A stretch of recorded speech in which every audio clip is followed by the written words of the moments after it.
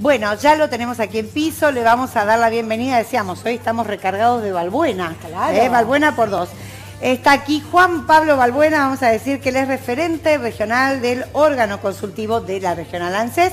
Juan Pablo, bienvenido, formadísimas, ¿cómo estás? Hola, muy buenas tardes, ¿cómo están ustedes? Y aprovecho para saludar a su vasta audiencia. Bueno, gracias, gracias por la visita. Estuvimos presentando ¿no? la semana pasada eh, lo que fue la previa a estas tertulias que ya nos tienen acostumbrados. Con Cecilia pudimos pasar por el lugar porque nos dirigimos. pasábamos por ahí por el Eso estaba dique. llena la plaza eh, de los españoles. No paramos, estuvimos Paseo. a punto de parar. No paramos porque teníamos otro evento al que íbamos juntas, pero hubiéramos parado con todo gusto porque te veíamos arriba del escenario ahí con toda la gente muy alegre eh, después de la pandemia. ¿no? Claro. Así es, hubieran sido ante todos muy bien bienvenidas. Este, la verdad que eh, pudimos disfrutar entre todos lo que es eh, la vuelta, la tertulia del reencuentro, como así lo dijimos, que es la vuelta a la presencialidad, al, al encuentro entre los adultos mayores, al formato de encuentro y recreación, que sabés que tanto les gusta y lo estaban esperando con muchísimas Totalmente. ansias. O sea, vos ves mil adultos mayores saltando, haciendo pogo, riéndose, transpirando, hidratándose. Bueno, la, ver- la verdad que felicidad plena. Y si nosotros, como funcionarios, podemos hacer eh, este marco, estos eventos y que tengan el éxito que tuvieron, bienvenido sea. Esto es organizado, este, Juan Pablo, contanos por ANSES y quién más. Esto es en el vínculo interinstitucional entre ANSES, PAMI y la UNICEN. Eh, obviamente contamos en este caso con nuestros sponsors, Banco Industrial y AMEM, porque la verdad que hubiera sido imposible de realizar. ¿Por qué? Porque en el formato que nosotros proponemos los costos son muy altos. O sea, bandas musicales, un equipo de, de sonido de primera línea, el montaje de un escenario, el calibre de los sorteos. Bueno, la verdad lleva eh, mucho dinero para realizarlo. Seguro. Bueno, y yo quiero saber, Juan Pablo, qué te dijo la gente específicamente después de tanto tiempo, muchos que se han reencontrado, que se han visto por primera vez en ese espacio, ¿qué tipo de experiencia se vivió?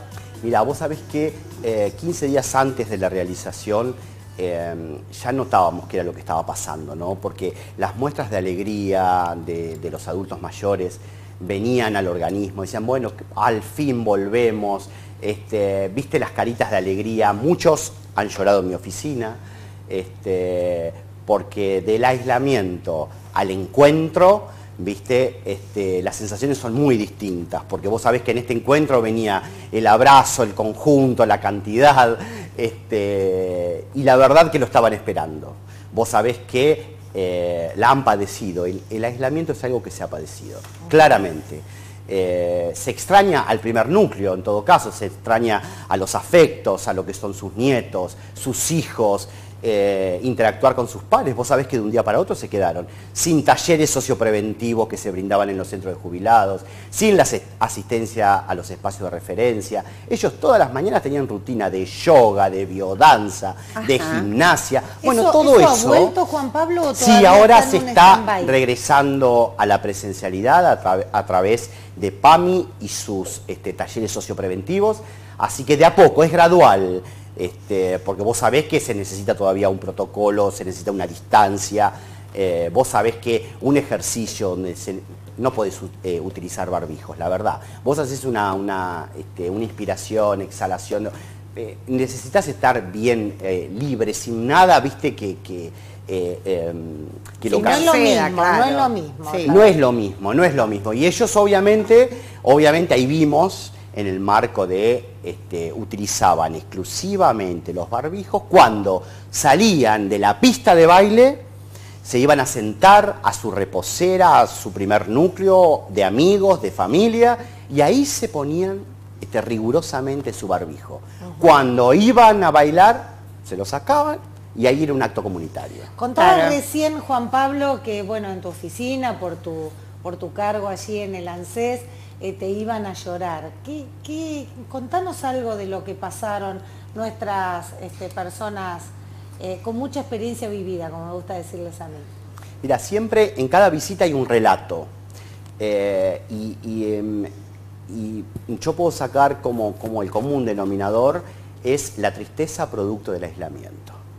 se encontraban que estaban como atados a su diaria, digamos. Vos sabés que em, en la pasividad hay una agenda que se comparte con la familia, que se comparte con los afectos, con los vecinos y también con sus pares. Bueno, nada de esto eh, ocurría. Entonces, estar en tu casa exclusivamente pendiente de ingresar a alguna red con las dificultades que en muchos casos ocasionan, o mirando un programa de televisión, o viendo lo que estaba sucediendo. Y también, también debemos este, señalar eh, la nostalgia por todos los que se fueron. Eh, nosotros, en el marco de la... Hicimos una suelta de globos con Helio a propósito de recordar los adultos mayores que participaban siempre de estos formatos y que hoy no están, producto eh, del vagón del COVID que fue rumbo al cielo. Eh, en eso quisimos hacer un recordatorio, una mirada al cielo, eh, pero con muchísima alegría como a ellos les hubiera gustado que se continuara, ¿no? Y sabes que eh, lo ensamblamos rápidamente con el tren al cielo de la Sole y salieron todos a bailar eh, en trencito, bueno, y recordando con la mirada al cielo y con esa alegría a sus pares. La verdad que este, fue algo muy lindo. Una mezcla, ¿no? De, sensaciones y sentimientos. Claro, y ha estado, bueno, todo como, como bien lo describís, muy calculado. ¿Cuánto tiempo lleva la logística para armar, para armar esto? Más allá, por ahí decías, de, bueno, las cuestiones económicas. ¿Cuánto tiempo le lleva y cuándo tienen planeado realizar un nuevo evento? Mira, eh, más o menos mm, la organización estuvo 15 días antes. Vos sabés que es la primera vez que hacemos un formato al aire libre.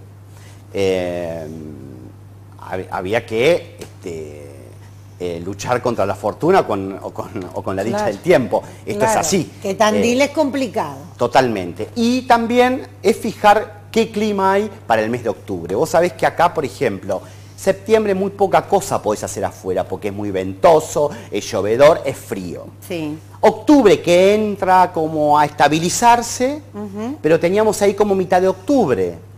Eh, el horario es otro factor. Vos sabés que a partir de las 17 horas no podés tener adultos mayores saltando al aire libre porque la temperatura baja ostensiblemente. Entonces había que calcular todo la inclemencia, el horario de realización, el ajuste también con las bandas, con el sonido. Bueno, todo eso había que ajustarlo y estuvimos 15 días. Obviamente el resultado fue excelente como se vio, eh, se coronó con éxito, pero ayudó muchísimo el tiempo también. Claro, claro. Fue, viste, el cielo diáfano, el cebo ayudó, así que eh, realmente estuvo muy bueno. Bueno, habrá que mirar el servicio meteorológico y ahí en base este, especular para qué día. Mira, nosotros más o menos, digo, te, te lo adelanto ya a modo de primicia, estamos pensando en las proximidades de las Navidades. Ah, este, cerrar ahí. ¿Proximidades de? Navidad. Navidad. Bien, bien. Eh, así que es un mes recontraestable, hay que ver el tema, bueno, de las temperaturas, qué lugar, ahora un lugar con mayor sombra que el predio del Paseo de los Españoles, bueno. Eh, habrá que pensarlo, pero la idea la vamos a desarrollar más o menos para las proximidades de la Navidad. Juan Pablo, eh, lindo tenerte aquí en el piso. Bueno, nos encontramos, viste que nos vamos encontrando por distintos lugares. Es que trabajamos cerca también. Entonces por ahí Pero yo ahí en el trabajo no lo veo. No. Ah. No, no, nos vemos en otros lugares. Yo a veces paso caminando y le grito porque lo veo por la ventana. Así es, tal cual. Yo me lo encuentro en otros lugares. Bueno, está concurrimos. Está muy bien. ¿Eh? Y no viene al caso. Bueno, Juan Pablo, muchísimas gracias, por la visita aquí a Informadísimas y ya te estaremos invitando nuevamente. Bueno, cuando tengas esto u otra cosa para contarnos. Bueno, eh, muchísimas gracias a ustedes. Aprovecho ahora para, este, para decirles que estamos organizando eh, el taller de inclusión digital para el Centro de Jubilados General Belgrano y el Centro de Jubilados de Villa Italia, eh, conjuntamente con el Banco Industrial, así que va a ser una herramienta este, muy buena para los adultos mayores, así que bueno, próximamente estaremos trabajando sobre esa línea. Perfecto, Juan Pablo, que tengas buena jornada. ¿eh? Nos visitó el referente regional del órgano consultivo de la regional ANSES, Juan Pablo Balbuena.